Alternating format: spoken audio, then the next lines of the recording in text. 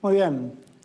Buenos días a todos, a todas. Gracias por invitarme a la apertura de este nuevo coloquio de ideas.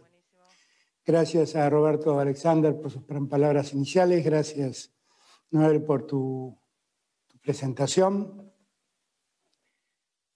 Eh, efectivamente, yo creo que este es un coloquio diferente, diferente por el modo en que lo estamos realizando virtualmente, diferente también por el tiempo que nos toca vivir. Perdón, en verdad, la Argentina y el mundo está viviendo único, un momento único en el, mundo y en el tiempo.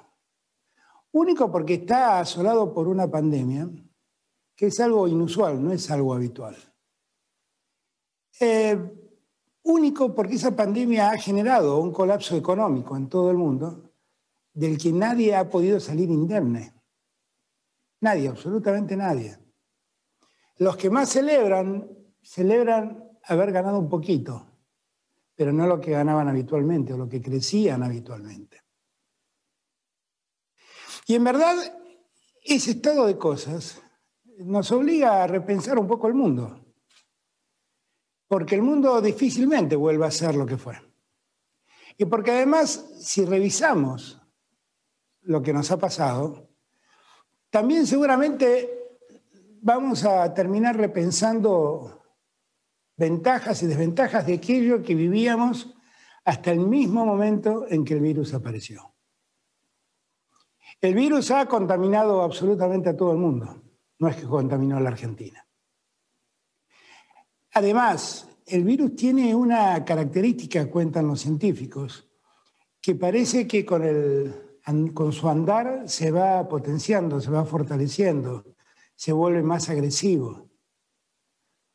El virus parece por momentos que se va y siempre está volviendo. Y ahí la tiene en Europa como soportando algo así, algo parecido a una segunda ola del virus.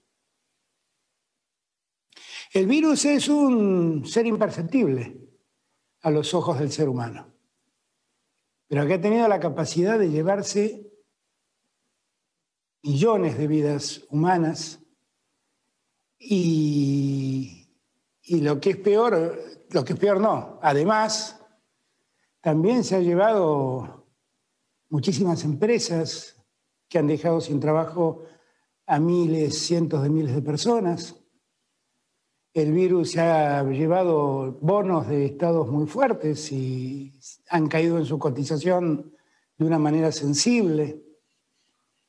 El virus ha dejado en evidencia, también la insuficiencia del ser humano para encontrar respuesta al problema, porque llevamos meses lidiando con este virus y hasta el día de hoy no sabemos cómo prevenirlo, no sabemos cómo curarlo, y eso no es poco. No tenemos la vacuna que lo prevenga, no tenemos el remedio que lo cure. Hemos vuelto a las prácticas más elementales de la medicina. Quédate en tu casa, cubrí tu boca, no le des la mano a otro, permanentemente, permanentemente higieniza tus manos. Nos ha obligado a trabajar a dos metros de distancia, a no compartir nada con el otro, a evitar los abrazos.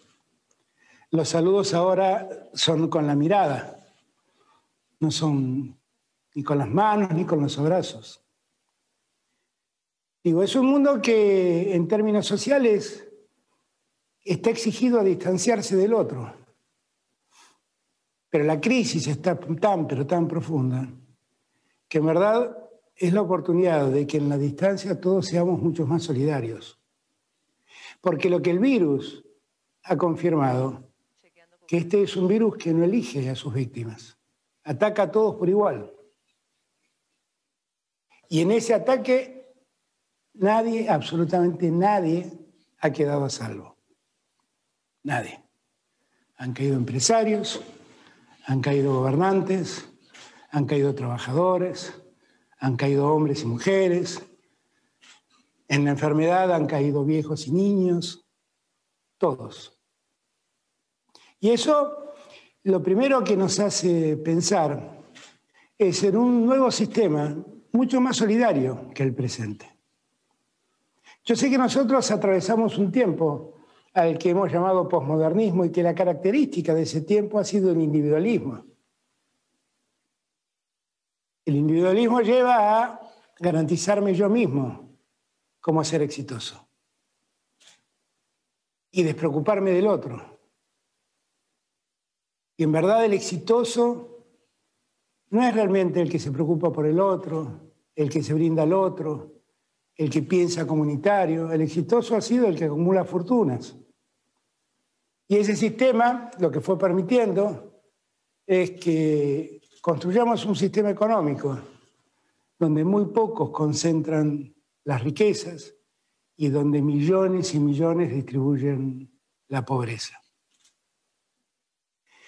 Esto es lo que evidencia el mundo del coronavirus. Y también es todo esto un instante de reflexión para que pensemos un poco lo que podemos construir nosotros en Argentina. La Argentina también es un país que cuando llegó el coronavirus estaba muy, pero muy enferma. Era un país en terapia intensiva, digo lo mismo. Lo digo siempre. Lo saben ustedes mejor que yo.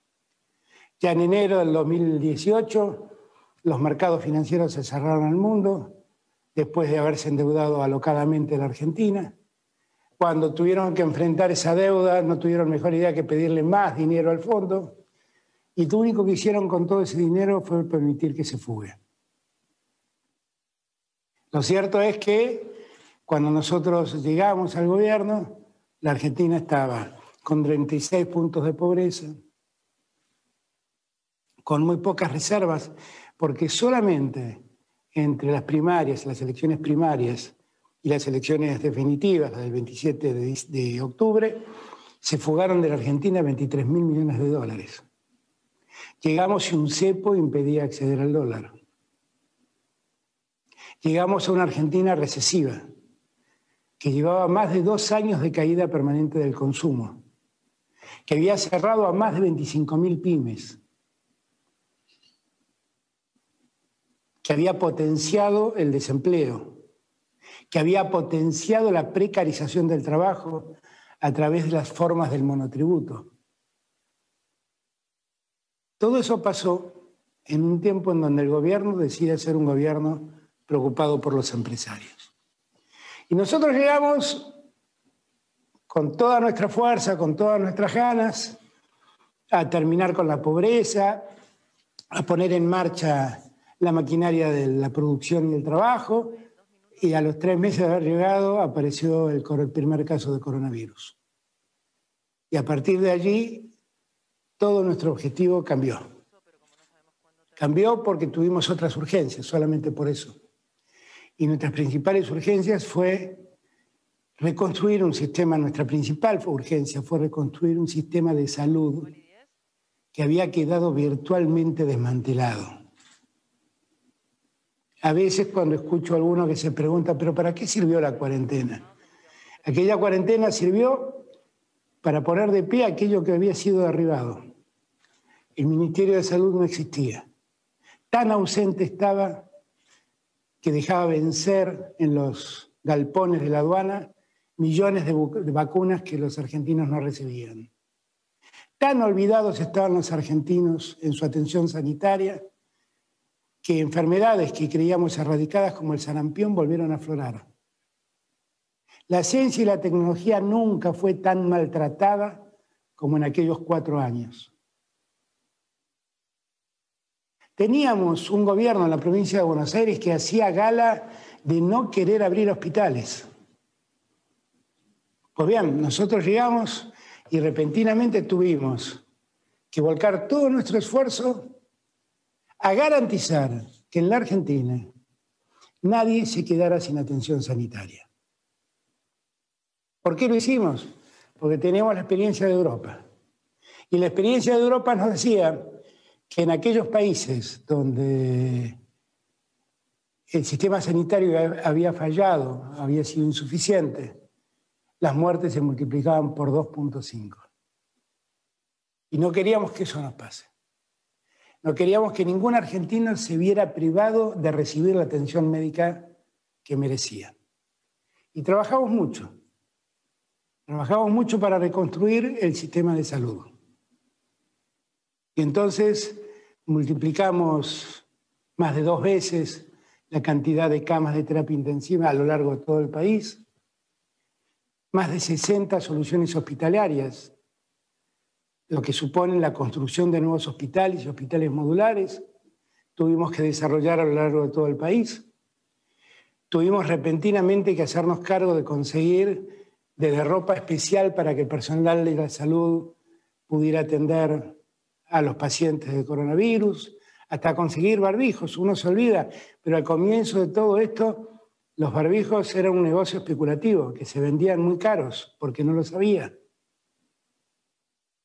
Todo eso debimos hacerlo en una Argentina que había asumido en la pobreza el 36% de los argentinos. Y entonces fuimos en ayuda de esos argentinos, con planes específicos, desde el plan alimentar, la profundización de la asignación universal por hijo y la creación del ingreso familiar eh, de excepción, el IFE, de emergencia. El IFE dejó al descubierto que el Estado contaba con 9 millones de argentinos que estaban fuera del sistema. 9 millones de argentinos que, que el Estado Nacional no sabía qué hacían, no sabía de qué vivían. 9 millones de argentinos significan el 20% de la Argentina. Ese fue el país que recibimos. Y entre todos cooperamos.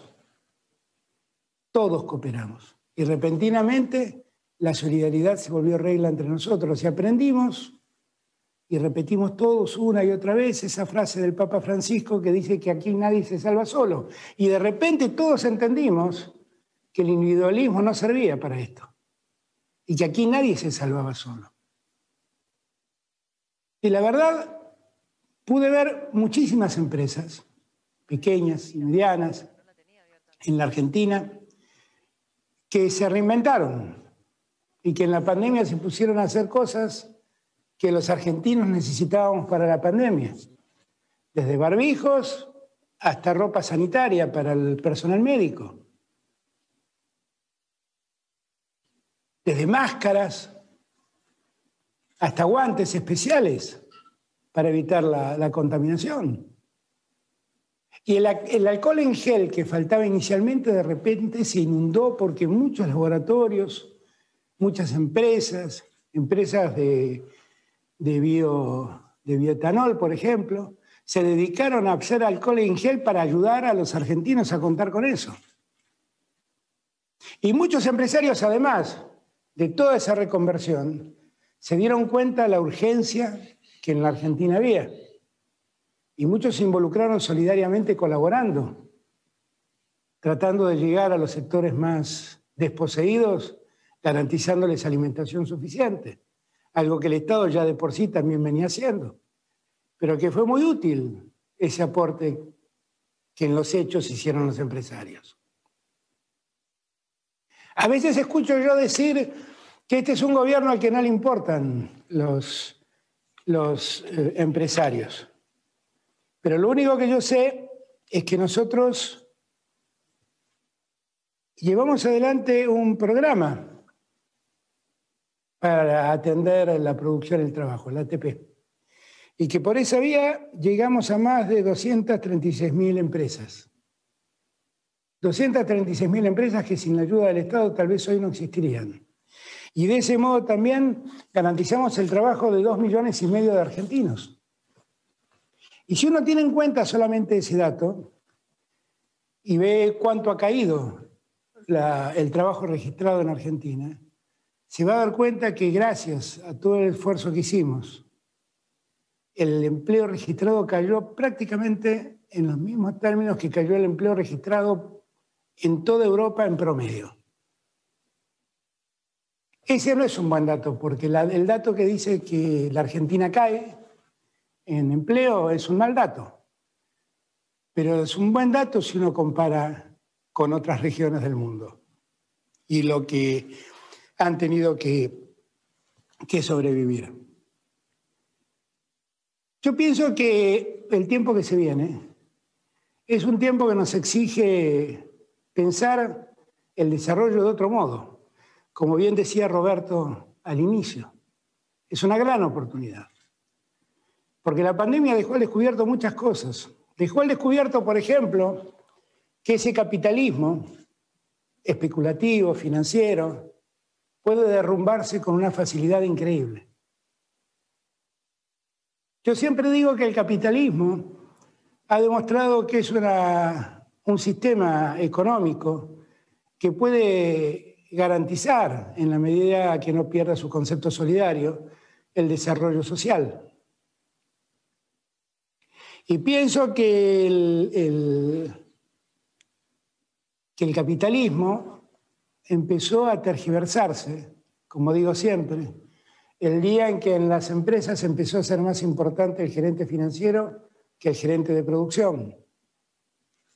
Porque cuando lo financiero prevaleció sobre lo productivo, lo que uno solo pudo observar es que la especulación superó la idea del capitalismo originario, ¿no? Ese capitalismo fordiano que un día se puso a pensar por qué hacer autos solamente para las clases pudientes y por qué sus empleados no podían acceder a un auto. Y entonces se puso a fabricar autos en masa y así convirtió el automóvil en lo que es hoy, que no es un buen bien suntuario, es un bien al que puede acceder un gran número de la sociedad moderna. Ese es el mejor capitalismo. Un capitalismo solidario, un capitalismo que tenga diálogo y un capitalismo donde los mercados funcionen como corresponde. Porque un capitalismo sin mercado es una trampa. Un capitalismo sin mercado lo único que hace es hacer que unos pocos ganen y que muchos pierdan o padezcan. Ahora, ese capitalismo y ese mundo empresario, esa inversión privada, necesita también vincularse con el Estado. Porque un capitalismo sin Estado es la selva misma. Es un mundo sin reglas, es un mundo donde gana básicamente el más fuerte, el más poderoso, y pierde el resto. Ahora, un Estado sin capitalismo es un Estado discrecional, es un Estado interventor, es un Estado que puede ser autoritario. ¿Por qué hago todas estas reflexiones? Porque el Estado, el capitalismo y el mercado definitivamente están vinculados al progreso y al desarrollo. Y así debemos entenderlo. Nosotros estamos convencidos de que ese es el camino. Nunca lo dudamos. Que en el medio tenemos problemas, claro que los tenemos. Hoy mismo estamos enfrentando un problema por la falta de divisas que objetivamente heredamos. Por una desconfianza que se crea porque se repiten cosas que objetivamente no son ciertas desde los que plantean que se viene una devaluación hasta los que plantean que podemos quedarnos con los depósitos de la gente. Jamás haría semejante cosa. Lo que nosotros necesitamos es una Argentina que crezca con confianza. Y lo que necesitamos es que los empresarios, de una vez y para siempre, entiendan que tenemos que trabajar juntos para desarrollar a la Argentina y que el desarrollo no se da sin reglas claras que el Estado fije y que el desarrollo, si no conlleva un desarrollo generalizado que alcance a todos los sectores de la comunidad, es un desarrollo que no sirve. Un desarrollo donde se concentra el ingreso en pocos es un desarrollo que solo trae conflictos. Y eso es lo que estamos llamados a hacer, trabajar juntos para poder encontrar la salida. Y tenemos definitivamente muchísimas oportunidades de salidas. Porque la Argentina las ofrece. Porque además el mismo contexto para invertir es un contexto favorable. Y hay muchos sectores de la, Argentina que, que pueden involucrarse en el desarrollo de cualquiera de estas cosas de las que vamos a hablar hoy. Nos preocupó también y yo lo escuchaba decir a Roberto, que la Argentina también tenga una calidad institucional que ha perdido. Y cuando nosotros planteamos ciertas cosas vinculadas a la justicia y a la calidad institucional, no estamos haciendo eso para buscar la impunidad de nadie. No estamos haciendo eso para beneficiarnos con algo de eso. Estamos proponiendo esas cosas para que la Argentina recupere una justicia que se ha perdido. Yo me pregunto, ¿qué pensarían ustedes si las vacantes que hoy existen en la justicia, yo las cubro cambiando a jueces amigos míos, sacándolos de un tribunal y pasándolos al otro? ¿Ustedes creen que esa es una mejor justicia? Bueno, eso es lo que nos pasó. Eso es lo que se hizo con el silencio cómplice de muchos. Y eso está mal. Y si yo quisiera ser un sinvergüenza que aproveche ese antecedente, ese antecedente para que la justicia se organice, entre comillas, se organice con esas lógicas, entonces solamente me hubiera quedado callado y hubiera aprovechado los precedentes de quienes me precedieron en el cargo. Pero yo no creo en eso. Yo creo que la seguridad jurídica que ustedes reclaman exige tener jueces dignos y probos. Y los jueces dignos y probos tienen que dar un concurso de oposición, tienen que dar un concurso de antecedentes, tienen que pasar por el acuerdo del Senado y tienen que ser designados por el Poder Ejecutivo Nacional. Cuando eso no pasa, la, dignidad y la probidad de los jueces está puesta en tela de juicio. Y el sistema judicial sufre. Claro que sufre. Nosotros nos interesa que la calidad institucional funcione a pleno. Yo soy alguien que cree verdaderamente en la democracia. Y soy alguien que verdaderamente cree en el sistema republicano. Y por eso exijo que las instituciones se construyen en función de las pautas que la Constitución Nacional fija. Esas batallas muchas veces son mostradas mediáticamente como batallas irracionales que nosotros planteamos. Lo único irracional es seguir con las malas prácticas. Lo único imperdonable es seguir haciendo las cosas mal.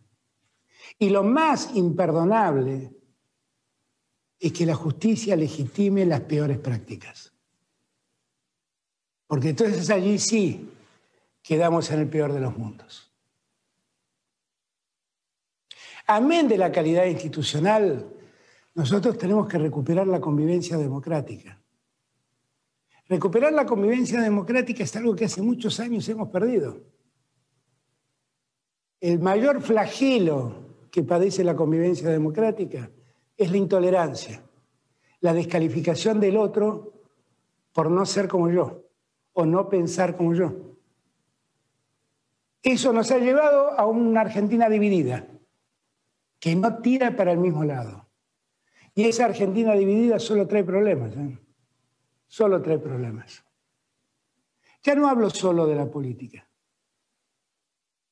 porque la verdad es que lo que hemos visto en estos días de marchas y marchas y marchas, donde solo se plantean hasta, hasta protestas en, domicilios particulares de jueces o, de, o en, algún caso de la vicepresidenta, o yo mismo acá en la puerta de la residencia de Olivos, donde los reclamos son reclamos de la más variada especie, pero son todos reclamos repletos de agresión, de insultos y de maltrato ese país no funciona más.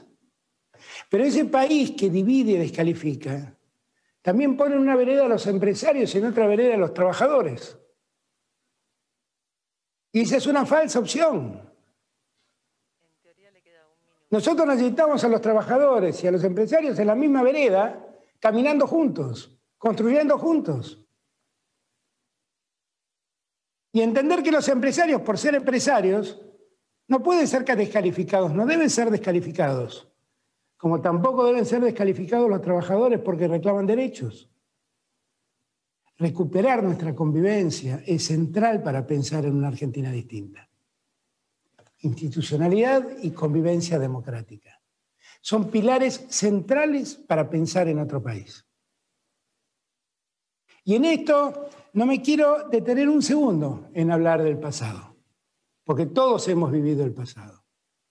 Y todos hemos visto cómo esa convivencia democrática se altera. Prefiero pensar en el futuro y entender o creer o desear que todos entendimos que estos modos son, modos, son los modos que hundieron a la Argentina en el peor de los mundos. Que esta lucha infernal de sectores en pugna que objetivamente deberían estar enlazados, es una lucha que, que nos deja parados siempre en el mismo lugar y nos desalienta. Yo he venido con la idea de terminar con todo eso y voy a dejar todo de mí para terminar con todo eso.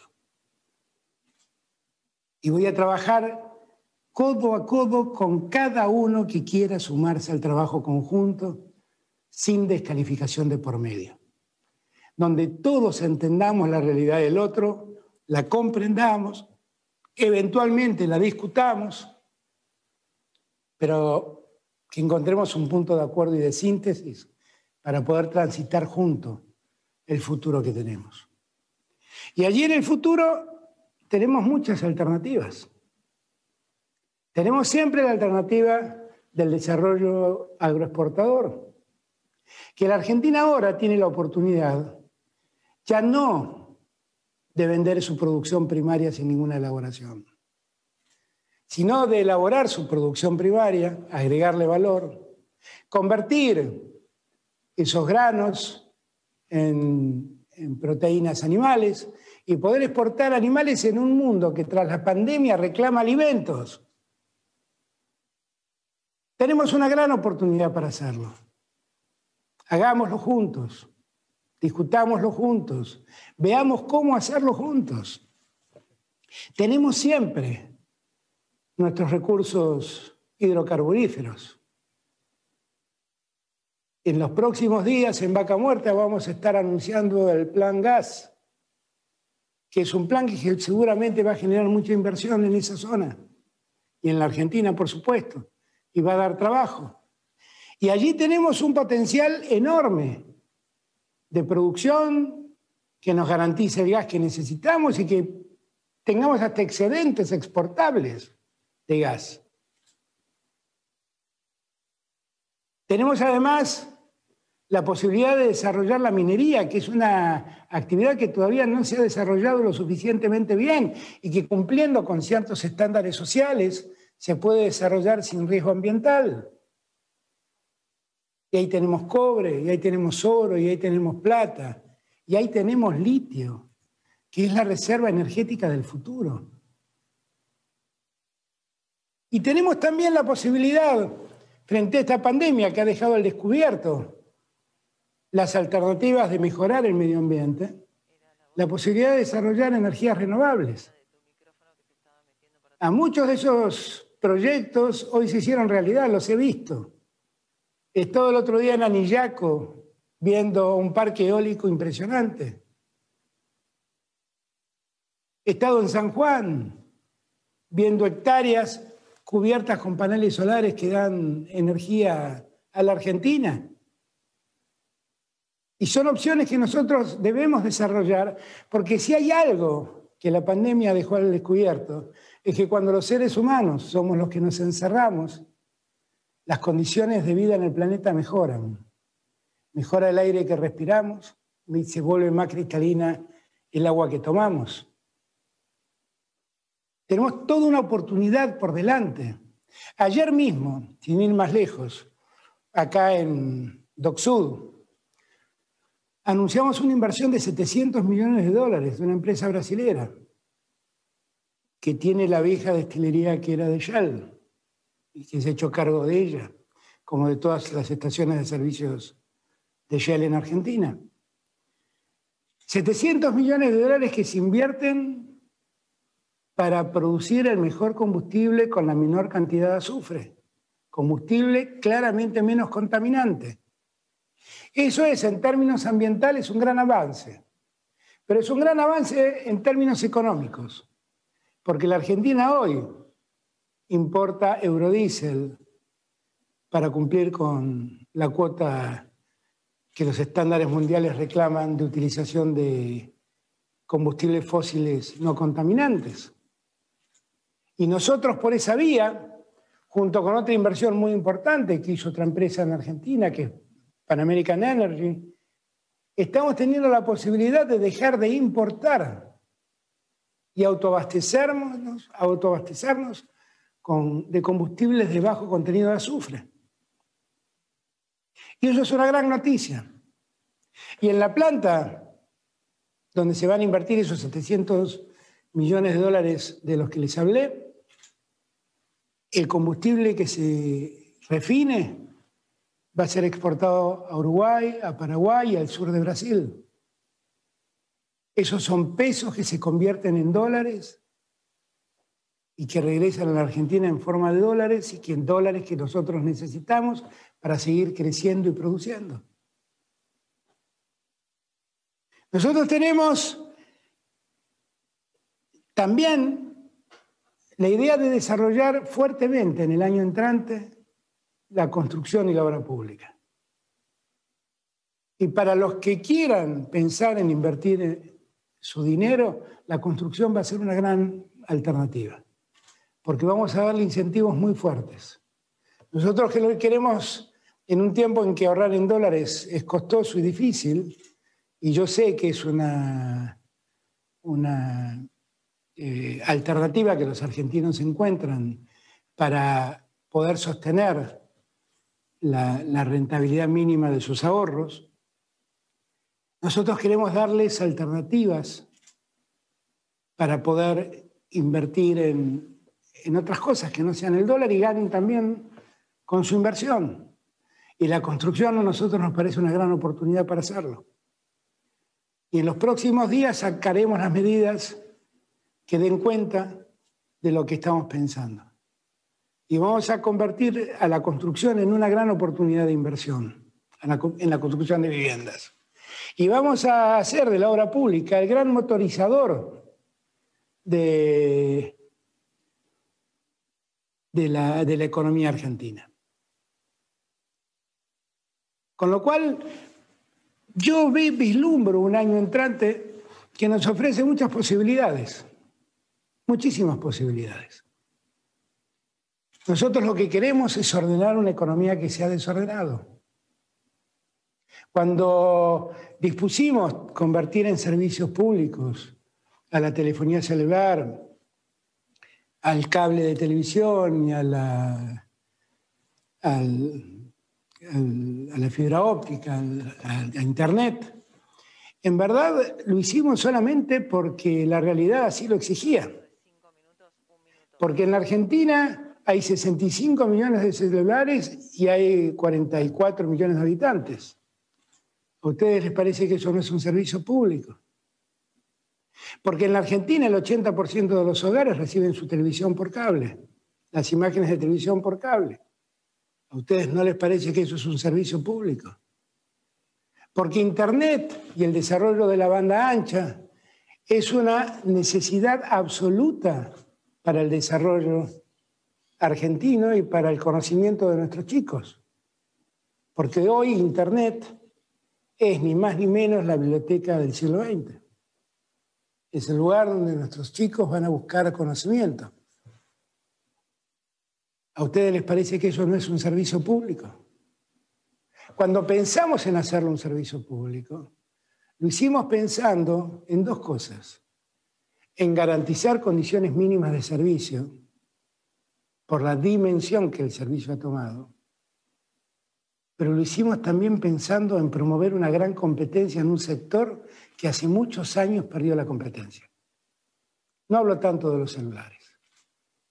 Sí hablo de Internet y de la televisión por cable. La competencia se ha perdido.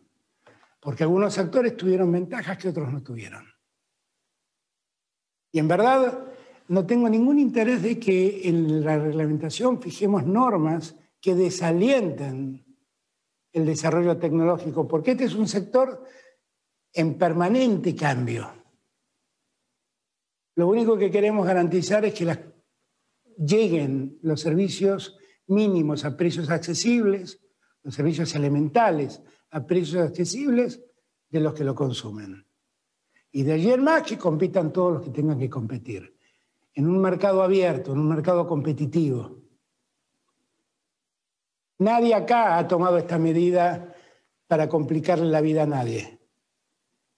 Hemos tomado esta medida pensando solamente en abrir un mercado que durante mucho tiempo estuvo por cuestiones políticas, por decisiones políticas, cerrado y protegido. Y como les dije antes, un capitalismo sin mercado solo sirve a unos pocos y perjudica a muchos. Y yo no creo en ese capitalismo. Creo en un capitalismo donde la competencia exista. Así que con estas ideas nosotros estamos seguros, vamos a poder pensar en, otro, en, otra, en otra Argentina. Además, hay cuestiones estructurales en la Argentina que nos obligan a pensar en otro diseño de país. Cuando yo hablo de esta Argentina que se dice federal y no lo es, y algunos se molestan porque hablo de la opulencia de la ciudad de Buenos Aires y de Buenos Aires mismo, y se molestan por eso, solo estoy describiendo un dato de la realidad. Solo estoy haciendo eso. ¿Y ello es culpa de alguien? No. No, no, no. No tengo a nadie para cargarle las culpas. Esto es algo que pasó en los últimos cuatro años de ninguna manera. Es algo que viene ocurriendo desde hace décadas, tal vez siglos, en Argentina. La Argentina ha sido pensada a fines del 1800 como un país con un puerto y con un sistema productivo fundamentalmente desarrollado en la pampa húmeda que produce granos y carnes y que los exporta. Ese modelo de país necesitaba de ese puerto y necesitaba del desarrollo del, de la Argentina del centro. ¿Y el resto de la Argentina? Ese sistema de país desarrolló una Argentina central y dos Argentinas periféricas, una al norte y otra al sur. Y lo que nosotros debemos hacer es cambiar esa estructura de país. ¿Por qué esa estructura de país? Cuando llegó la pandemia, dejó al descubierto lo que causaba. Una enorme concentración humana en Capital Federal y en el Gran Buenos Aires. Allí prácticamente habita el 45% de la población total de la Argentina. Si a ustedes eso no les parece una inequidad, no sé entonces qué decirles. Nosotros tenemos que desarrollar un plan federal que permita llevar inversiones al interior del país y que esas inversiones se vuelvan rentables. También sé que esas inversiones tienen desventajas, porque tienen desventajas de transporte, gastos de logística, que los que están cercanos al puerto de Buenos Aires no lo tienen. Por eso le presto tanto atención a la hidrovía.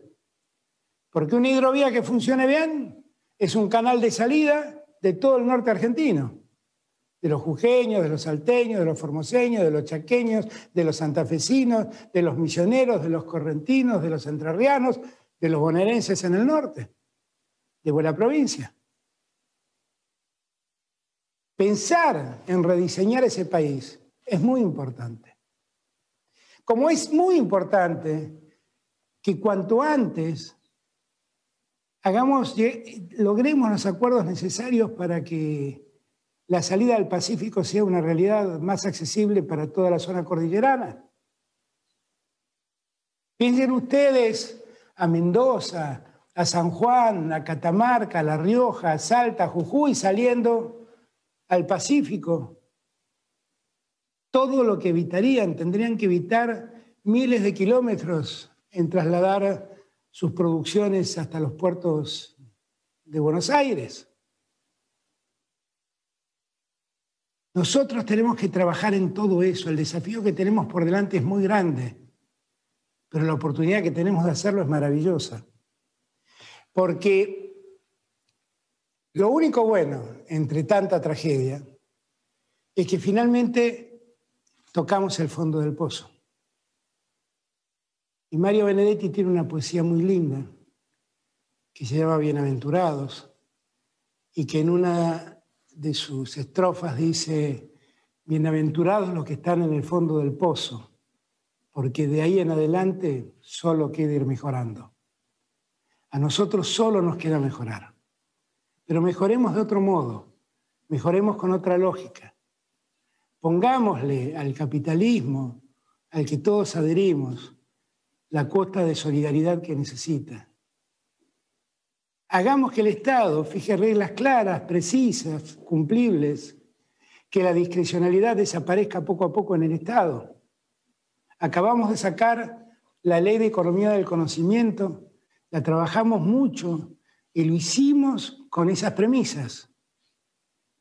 Y lo hicimos para un sector que hoy representa el 10% de nuestras exportaciones. Con la misma lógica debemos trabajar en cada área y en cada sector de la economía. Cada vez que ustedes lean que somos un gobierno antiempresario, piensen en el ATP. Y piensen si alguna vez algún gobierno se preocupó tanto por cuidar a las empresas, a las pequeñas y a las medianas. Cuando ustedes les digan que este es un gobierno que no le importa crecer, Piensen solamente el esfuerzo que hemos hecho para sostener la paz social y que a ningún argentino le falte nada como condición esencial para pensar en el crecimiento. Cuando ustedes le digan que somos un gobierno que le gusta vivir aislado del mundo, piensen ustedes todo el esfuerzo que hemos hecho por vincularnos a Europa, por, mejorar nuestras relaciones internacionales en todos los foros donde pudimos hacerlo. Cuando ustedes le digan que la Argentina es un país sin destino, piensen ustedes en nuestros científicos y en nuestros técnicos y piensen lo que han sido capaces de hacer en el medio de la pandemia. Piensen solamente que la Argentina es uno de los 10 países del mundo que tienen capacidad tecnológica como para construir un satélite y ponerlo en órbita. Y que esos satélites nos anuncien cómo va a ser la situación climática y el desarrollo de los suelos y ayuden a muchos productores a mejorar su producción. Que no los confundan. Somos un país con enormes oportunidades y por sobre todas las cosas, somos un pueblo maravilloso que se ha sobrepuesto una y otra vez a las caídas que nuestros gobiernos les causaron. Tenemos la oportunidad de levantarnos otra vez. Estoy seguro. Y vamos a levantarnos otra vez. Y vamos a levantarnos respetando la solidaridad. Y vamos a levantarnos respetando los derechos de los que menos tienen. Y vamos a levantarnos ayudando a los que invierten y a los que producen. En la Argentina en la que yo sueño, no es una Argentina donde sobran argentinos. Es una Argentina donde todos los argentinos hacen falta podemos hacerlo. Yo cuento con ustedes. Muchísimas gracias.